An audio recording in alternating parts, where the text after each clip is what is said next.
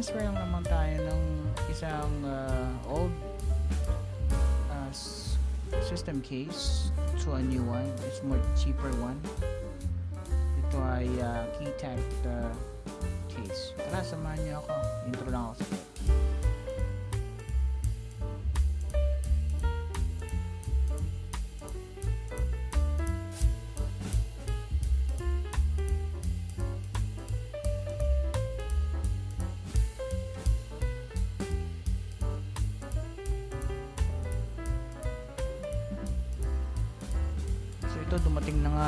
ating keytech case. So buksan natin muna to para sure ball natin na walang sira or basag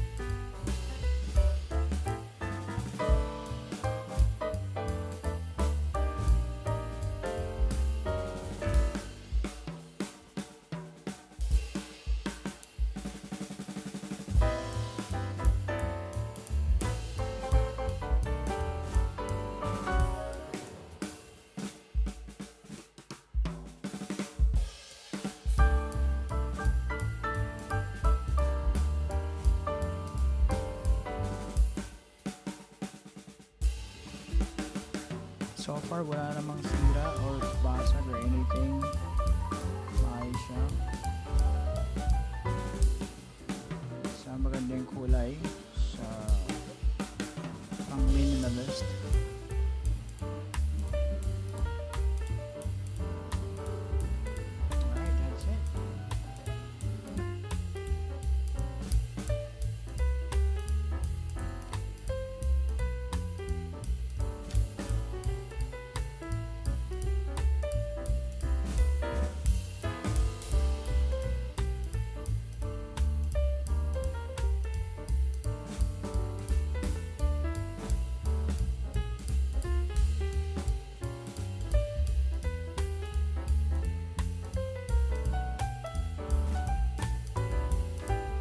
So ito ngayon yung luma nating case sa PGS. Sobrang tagal na itong case na to.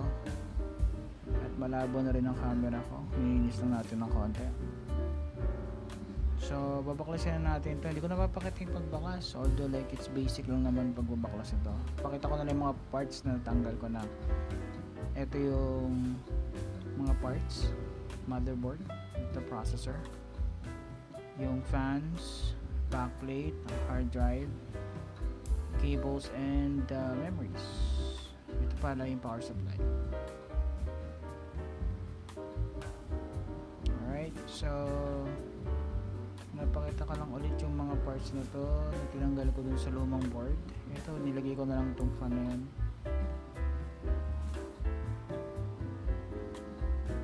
Alright, lagyan natin ng thermal paste. Sakto lang masyadong marami. Wag konti. Para kumalat ang init. Make sure na flat. And then wag ka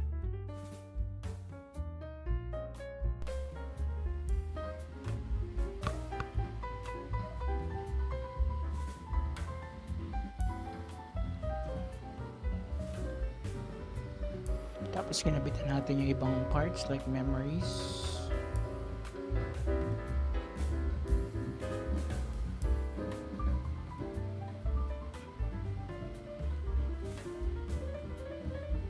Oops. And then bago natin lagay sa case, siyempre testingin muna natin. Everything should be working fine bago natin lagay doon. Uh, nag-boot naman siya, 12 gig RAMs. So ito na yung case. Una ikakabit natin is yung fans. Para sure ball na walang uh, tangles or something na mag-cause ng inconsistent wirings. Yung dalawang fans. This is for intake. Pag nasa harap laging intake. Ayan. Papasok lahat ng hangin smooth. As long as sumaandar siya okay yan alright so kabit natin yung motherboard. Unahin natin itong backplate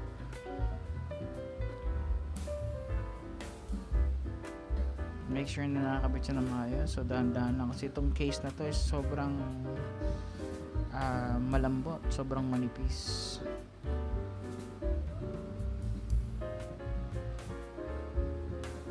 nga pala itong case na to is available sa online sa Lazada or Shopee. Nasa around 700 to 800 pesos lang siya. So yung mga naghahanap ng case yan na may tempered glass pwedeng pwede sa inyo to. Napaka minimalist lang siya.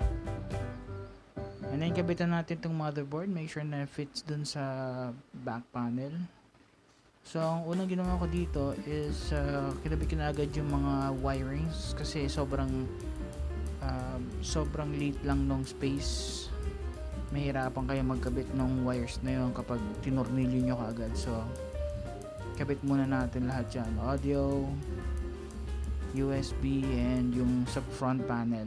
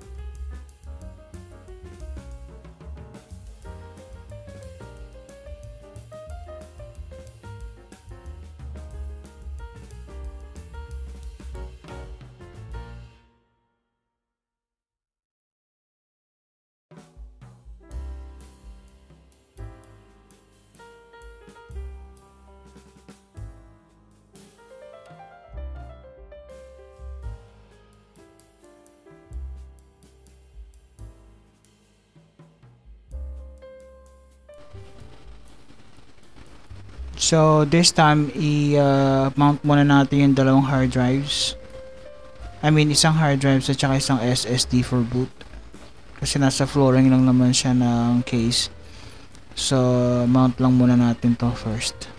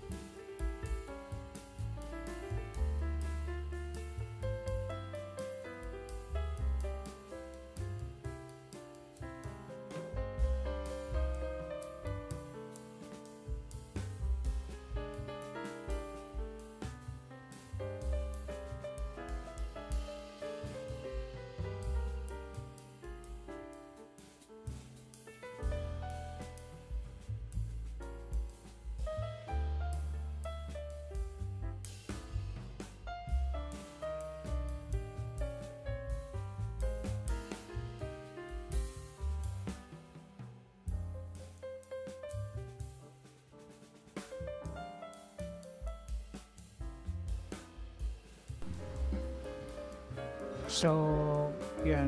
Since secured na lahat, ikabit yung ibang parts like the USB, I mean yung SATA cable para sa hard drives.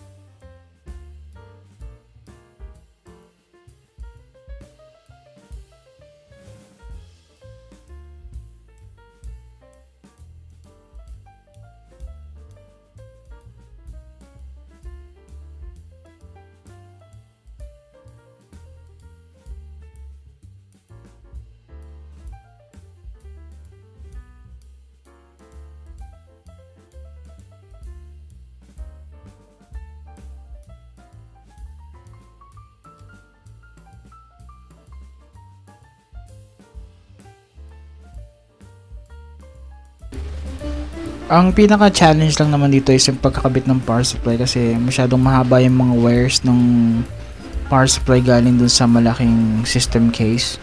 Pero kasya naman siya. So, lahat yan pinadaan sa likod. Although hindi na napakita sa video, pero nai ano naman siya lahat sa sa likod. Nai-organize naman lahat yung wires.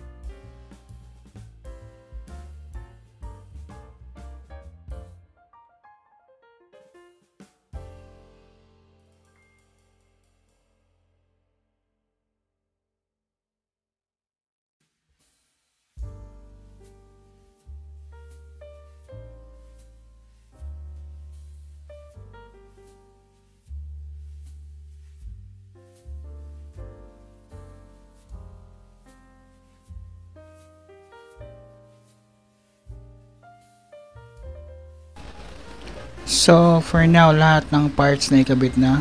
Power na lang lahat. And then, that's, uh, that should end this video. Kasi hanggang doon lang naman. Hindi na pasama yung uh, video like the sa cable management sa likod. But, everything should be working fine after that.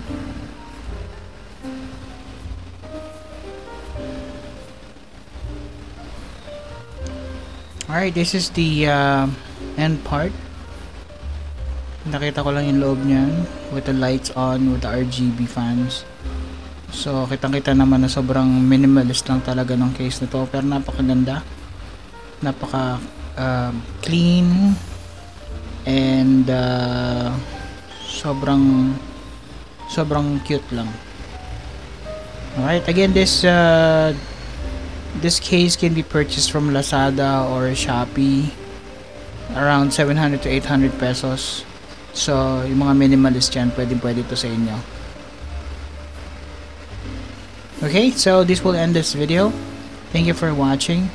So, sana mag-subscribe kayo para lumago, lumago tong channel ko and then, you know, para continuous pa rin yung pag-create ko ng video to support this. Thank you.